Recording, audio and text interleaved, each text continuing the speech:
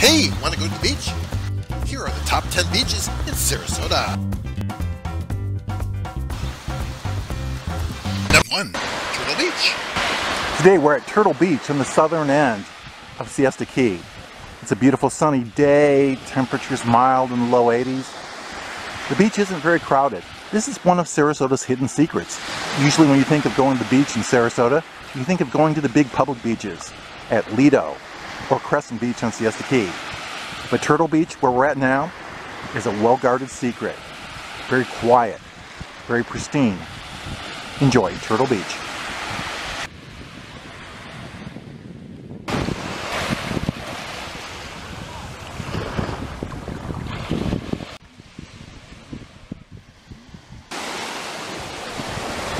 considered by many to be one of the best beaches in the world. In one year, the best beach in the world. Look at the white sand, the blue water, all the people enjoying the water today, bringing picnics, a lot of bright color beach umbrellas. We've got it all in Siesta Key.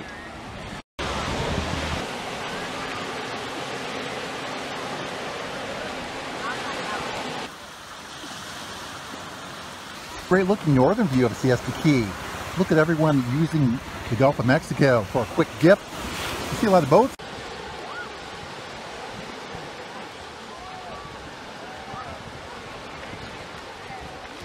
Number 3. Lido Beach. Welcome to Lido Beach in Sarasota. It's a gorgeous day to hit the beach. Come with us.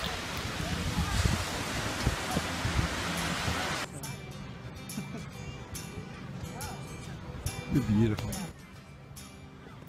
We're outside the beach club of the Ritz-Carlton on Lido Key.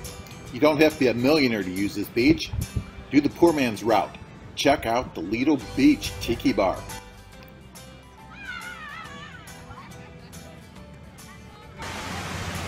Just a perfect day to be on Lido Beach.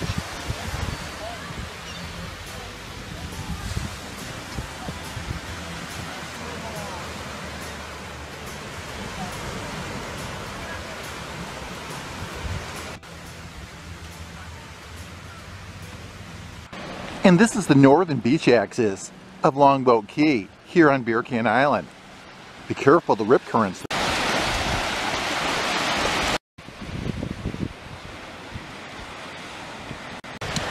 Beautiful day to come for a walk on the beach.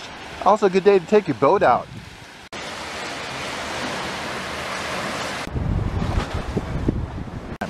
Now I think I see a dolphin. Oh yes I do. Number 5. You're looking at one of the most desirable beaches in the world. This is the White Sandy Beach at the resort at the Longboat Key Club. Look at those umbrellas. Very European, almost reminiscent of Cannes or Nice in France.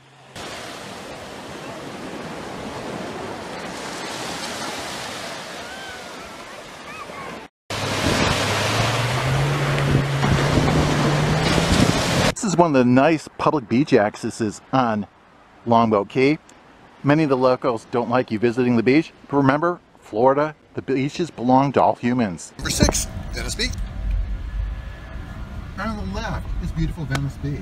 This is the main public beach in Venice. We're going to explore Casey's Pass.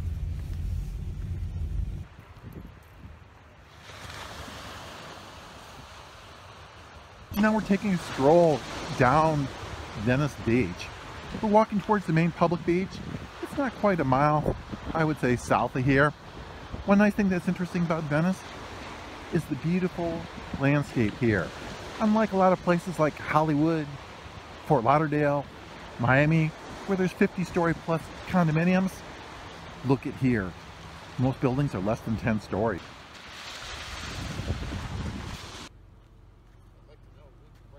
And gee, New York is only 1,207 miles, Key West 322, and Atlanta 521.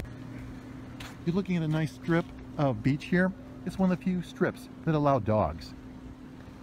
Directly in front of us is the fun Venice Fishing Pier. To the left is the Tiki Bar at Sharky's. It says bottoms up. I wonder what they got for happy hour.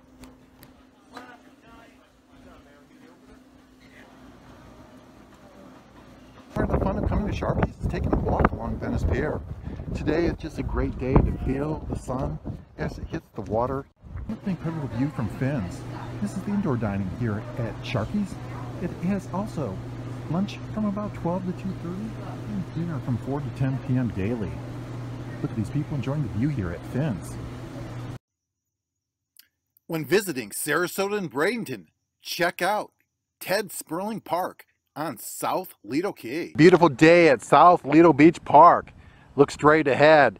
Look at the sun bouncing off the waters of the Gulf of Mexico. Let's get a closer look at this beach. A little bit of sea oats over there. I think it's going to be a great day to go for a swim.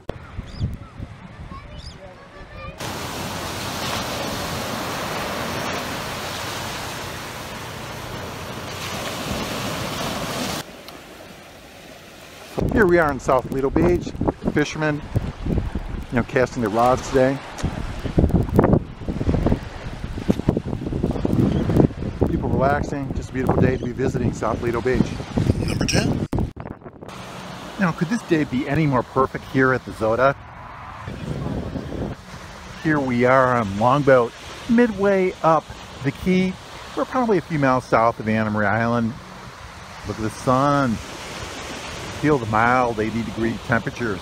And look at the waves. Here's a beautiful beach here on Longboat at the Zota. Waves coming in, sand freshly scrubbed. I kind of like the white and navy umbrellas.